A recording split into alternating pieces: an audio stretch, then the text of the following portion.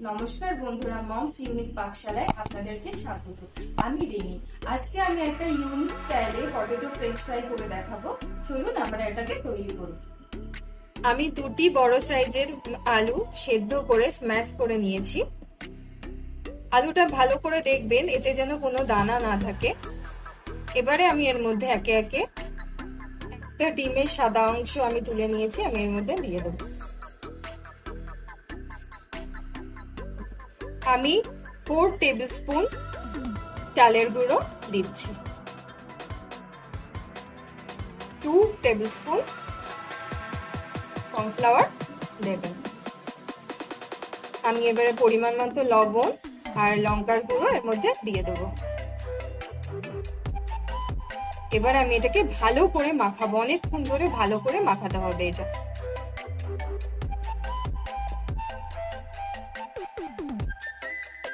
আমি পাঁচ থেকে সাত মিনিট আলুটা ভালো করে মাখিয়ে নিয়েছি।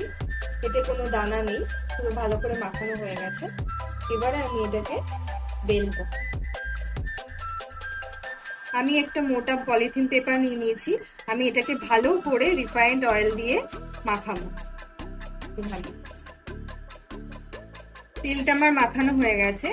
এবারে আলুটা নিয়ে আমি এর উপরে আর একটু ভাবে মাখিয়ে নেব ভালো করে। আমি এটা ভালোভাবে মাখিয়ে নিয়েছি। এবারে এর উপরে আমি এটা রেখে এই প্লাস্টিকটা আমি উপরে এর উপরে কভার করে নেব।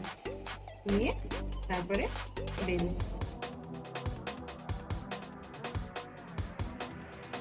এবারে আমি এটাকে কাটবো। প্লাস্টিকটা তুলে নেব। এবারে এভাবে আস্তে আস্তে। আপনারা কাটার সময় চাকুতে তেল লাগিয়ে নেবেন এতে একটু প্রবলেম হবে। দেখুন, আমি লম্বা লম্বি কেটে নিয়েছি। এটা খুব আলতো হাতে আস্তে আস্তে কাটবেন, বেশি তাড়াহুড়ো করবেন না এত এটা ভেঙে যেতে পারে। যেহেতু আলো সিদ্ধ, সেই কারণে। এবারে আমি এটা, যেহেতু অনেকটা লম্বা হয়েছে, সে কারণে আমি মিডিল দিয়ে কেটে দেবো।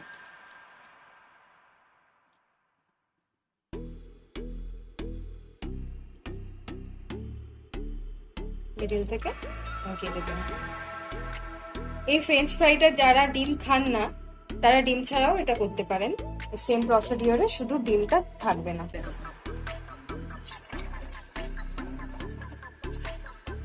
বন্ধুরা, এই ফ্রাইটা আপনারা মিডিয়াম ফ্লেমেই করবেন, এটা ডিপ ফ্রাই হবে এবং এটা দিয়েই আপনারা কিন্তু নাড়াচাড়া করবেন না। অন্তত পক্ষে দু থেকে তিন মিনিট পরেই আপনারা এটাকে নাড়াবেন। আমি দু থেকে তিন মিনিট পরে নাড়িয়ে দিলাম। দেখেছেন? অনেক লালচে বর্ণ ধারণ করেছে